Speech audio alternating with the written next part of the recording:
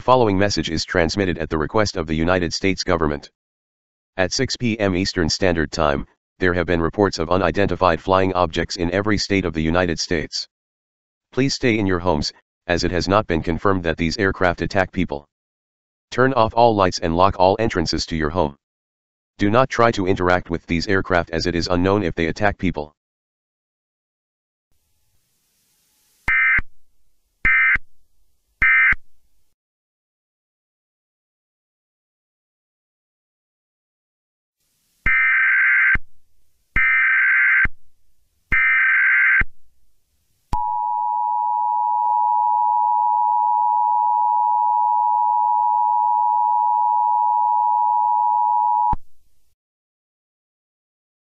This message has been transmitted at the request of the United States President.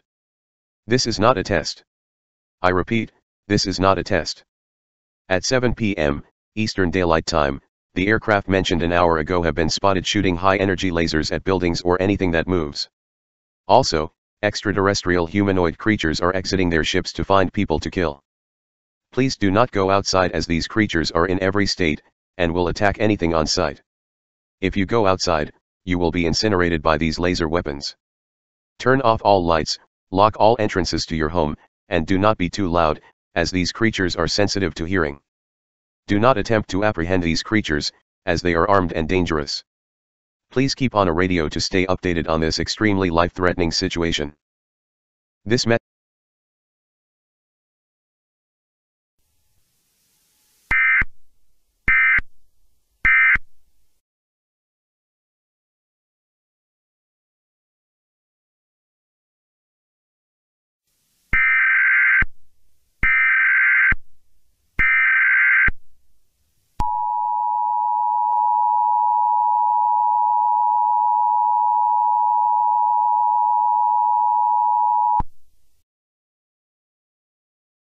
This message has been transmitted at the request of the United States President.